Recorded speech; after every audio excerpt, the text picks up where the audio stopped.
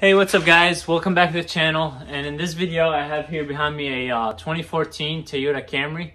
And what I'm gonna be doing is installing some fog lights. This one is a SE, it's a base model. So it comes with these covers right here. I'm gonna be switching to these and the fog light that comes with the kit. Now what comes in the box are the fog lights, the wiring, and the covers, which is all you pretty much need. But the wiring is basically useless since uh, you're not wiring, like in my other video, I wired up a, uh, a DRL LED light and um, with a turn signal along with it. But for this one, we're only gonna be wiring basically two bulbs to each fog, uh, one bulb to each fog light. So all you need is the connectors and some wires that are lengthy enough to run from down there to the headlight bulb, which you want to wire into. And we're not going to wire into the turn signal because you don't want them to be blinking.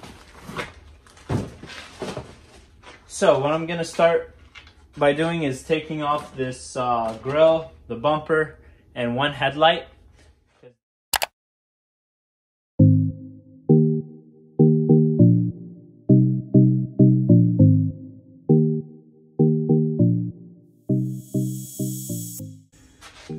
Okay, so now um, I'm gonna be wiring into this light right here, basically, and this one down here. Where is it? Snake, right there, this one that's orange. But the problem is this one also has a, um, a turn signal wires going to it, so it's not just two wires, pretty simple. But, um, so I'm gonna be, I have my wire tester. Let me grab that real quick. So one of them is gonna be uh, a negative. Um, is going to be all the time negative, and two are positive. One is for the turn signal, and one is for the the daytime running light. That's what I'm going to tap into. The negative one is just the negative one, and then I'm to try to find the daytime running light one.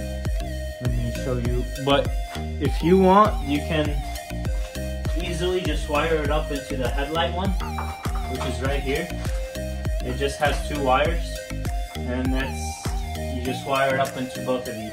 It doesn't matter which one is which, as long as it's positive and negative, which it is. So, this is my wire tester. I'm gonna put this on the negative side of the battery, or any ground on the car, and then I'm gonna test which one I need to wire into, which positive one. And then I can switch it, switch it to the positive terminal on the battery, and then I can find my negative wire and my negative wire that's the only one I need to tap into on to this right here.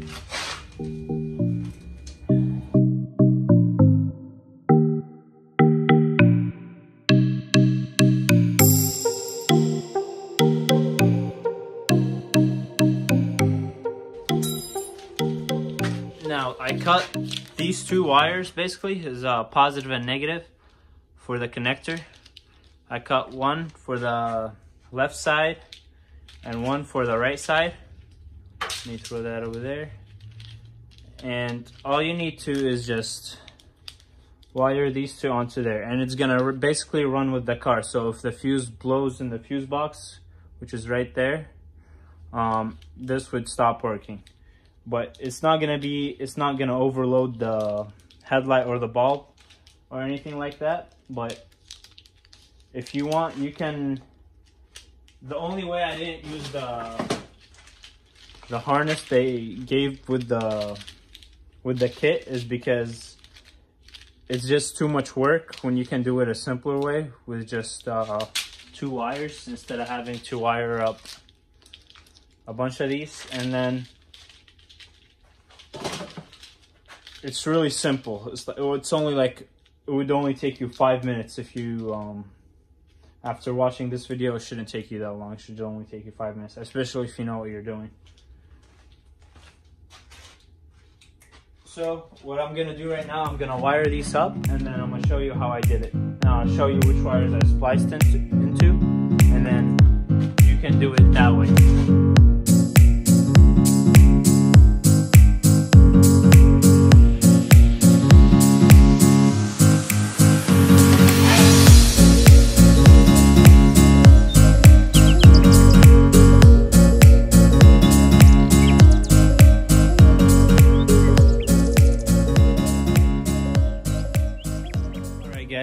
Now that I've uh, got it all wired up right here, you can see the fog light is on and the um, daytime running light. That's not the turn signal, but um, the two wires that I tapped into are right here. Let me see.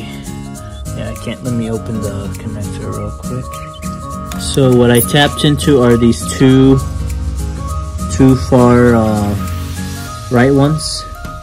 This one was the uh, this one was the positive one and this one was the negative one right here in the middle. But it doesn't really matter which one you wire into. They're both uh, the all the light needs right here is a positive and negative wire. Two wires one positive one negative doesn't matter which one is which so I wired up into the two right ones this one and this one right here. This one was the turn this one right here to the far left is the turn signal one. So if you get a custom fog light kit that has a turn signal you can just splice one of the positive wires into this one right here.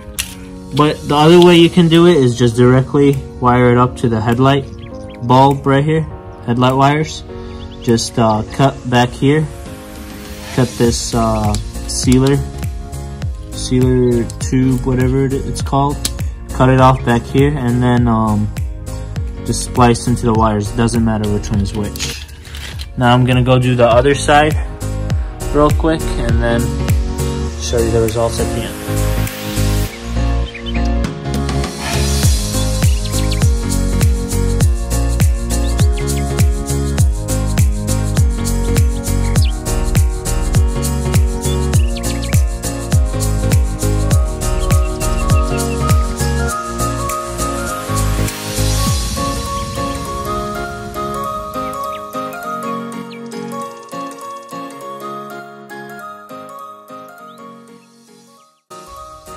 Alright guys, now that I have uh, completed all my wiring, um, I'm going to be reinstalling everything. I'm going to put the headlights back on, all the bulbs back in, and then I'm going to be installing the the covers and the fog lights onto the bumper.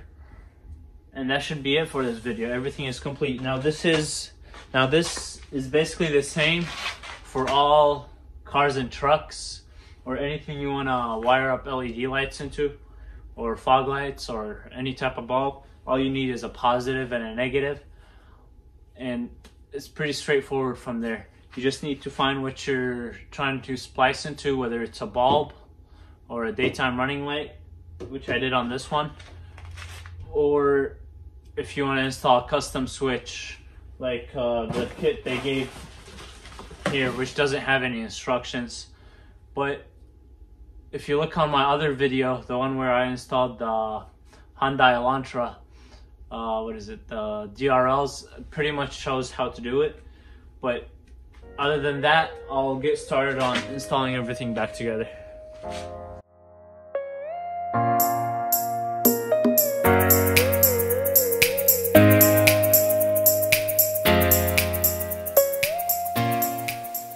The fog lights, all you need to do for this car, um, these two right here, they're sticking out, these two slide in right here. See those two holes? They slide in just like that. Oh, if I can show it. Let me slide them in. And then this one right here, if I can get some light on there. This one right here is a screw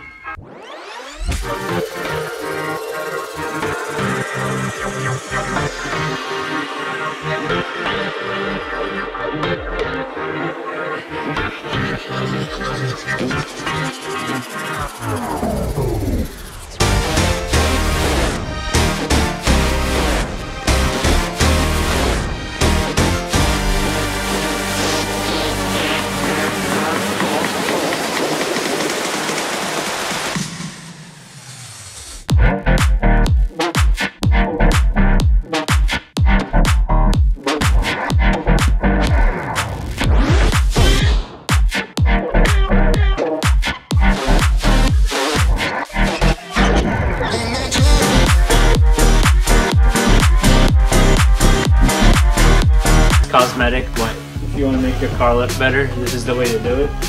Alrighty guys, that's it for this video. Thank you very much for watching.